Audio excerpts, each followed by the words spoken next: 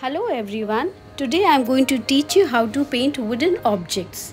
I have taken a wooden spoon and a spatula and some hooks which I have put them here so that I can treat it later on as a key hanger.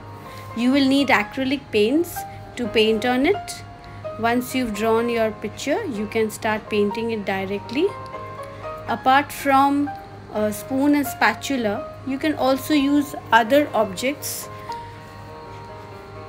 to paint on.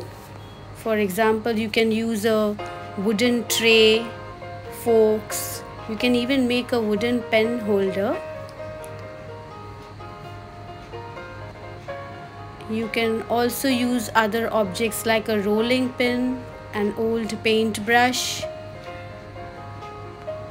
To paint, here are some reference pictures which you can refer to to make your own wooden piece of art.